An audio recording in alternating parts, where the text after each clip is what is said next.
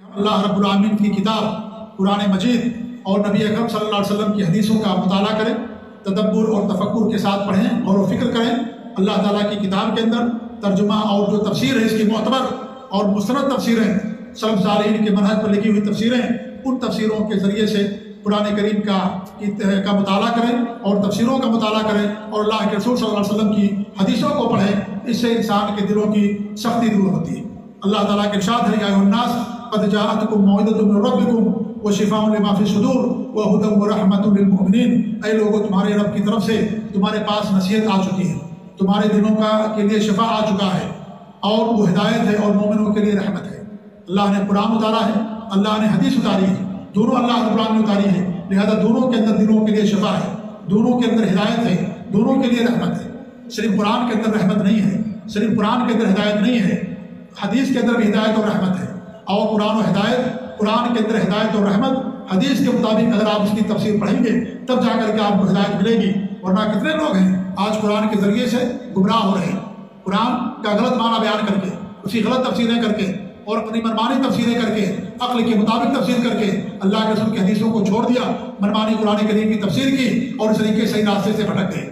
इसलिए कुरान और हदीस दोनों हमारे लिए ज़रूरी हैं। और दोनों को सब सालीन के अकीदे और मनहज के मुताबिक हमको समझना है, तभी इंसान को हिदायत मिलेगी, तभी इंसान को शिफा और रहमत मिलेगी। तो अल्लाह रबालमी ने जहाँ कुरान को शिफा रखा है, वहीं अल्लाह रबालमी ने हदीसों के अंदर भी शिफा रखा है। इसलिए जहाँ हम कुरान की तलावत करते हैं, सुबह शाम की दुआएँ भी पढ़ते हैं। सुबह शाम की दुआएँ पढ़ते हैं, सुबह शाम के असकार पढ़ते हैं, नमाज़ के बाद के असकार पढ़ते हैं। इन तमाम चीज़ों के अंदर हमारे लिए शिफा रखी गई। ये तमाम चीज़ें हमारी रहमत का ज़रिया है। जहाँ नमाज़ के अंदर हम कुरान की तलावत करते हैं, वही नमाज़ के अंदर हदीसें भी पढ़ते हैं। नमाज़ के ज़िक्र असकार भी पढ़ करते जहाँ अल्लाह के रसूल वसल्लम कुरान के ज़रिए से मुशरकिन अरब को दीन की तरफ़ दावत दिया करते थे, वहीं अपनी हदीसों के ज़रिए से, अपने कलाम के ज़रिए से भी लोगों को दीन की दावत दिया करते थे। सिर्फ़ कुरान दावत का ज़रिया नहीं हुआ करता था। हमारे भी ने बादशाहों को खतूत लिखे, बादशाहों को जो खत लिखा वो आपकी हदीस थी। आपके कलाम थे, जो आपने लिखाया, अपनी ज़ुबान मुबारक सदा किया, उन खतूत को आपने बादशाहों के पास भेजा। गैर मुस्लिम हमारे पास नबी के पास आते थे। आप उन्हें कुरान की तलावत करते थे और उन्हें ईमान लाने के लिए कहते थे। आपका ये कहना, ये हदीस होती थी। लिहाजा आप कुरान और हदीस दोनों के ज़रिए से उन्हें दीन इस्लाम की दावत देते थे। सिर्फ़ कुरान के ज़रिए से नहीं।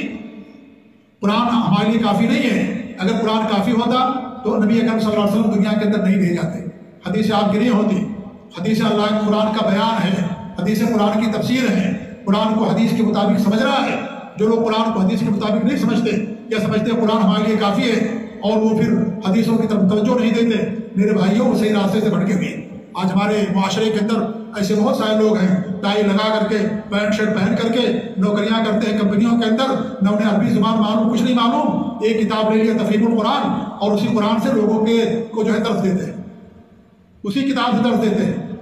हदीसों को नहीं देखते, साहबा की तफसीर नहीं पढ़ते सलब सालिन की तफसीर नहीं पढ़ते, कुरान की तफसीर करते हैं उसी के ज़रिए से। उन्हें कुछ नहीं मालूम। हदीसों का इल्म नहीं उन्हें। सलम सालिन के बारे में कुछ नहीं मालूम, अरबी ज़ुबान नहीं मालूम। उसी हदीस को लेकर के सबके सामने हर हफ़्ते बाकायदा उसका दर्ज होता है। और उसी से वो लोग दर्ज देते हैं और उन्हें दीन के बारे में कुछ भी मालूम हासिल नहीं। बस एक किताब है, उसी किताब को ले लिया, जाकर के उसको पढ़ दिया। जैसे फजाइल अमान पढ़ी जाती है, ऐसे तफीबुल कुरान पढ़ी जाती है। वही सूरत हाल है। एक फजाइल अमान लेकर के बैठे हुए हैं और एक तफीबुल कुरान लेकर के बैठे हुए हैं। ये सूरत हाल आज हमारे माशरे के अंदर है। कुरान को हदीस के मुताबिक समझना है। नबी सल्लल्लाहु वसल्लम की हदीसों के मुताबिक कुरान को समझ रहा है। हमारे नबी ने सिर्फ़ कुरान के ज़रिए से लोगों को दावत नहीं दी है। आप हदीसें भी लोगों को सुनाते थे। हदीसों के ज़रिए से भी आपने लोगों को दावत दिया है। आपके सारे खतूत, आपकी हदीसें हैं। हम नमाज़ के अंदर हदीसें भी पढ़ते हैं। और तैयार दरू शरीफ, रुकू की दुआ, सजदे की दुआ, ये सब क्या है? ये नबी के अल्फाज हैं। ये नबी का कलाम है ये। जिस तरीके सूर्य फातिहा पढ़ते हैं, उसके बगैर नमाज़ नहीं होती। ऐसे इन दुआओं के बगैर हमारी नमाज़ भी नहीं होगी। अगर कोई जानबूझ करके छोड़ देगा इन दुआओं को तो इंसान की नमाज़ नहीं होगी।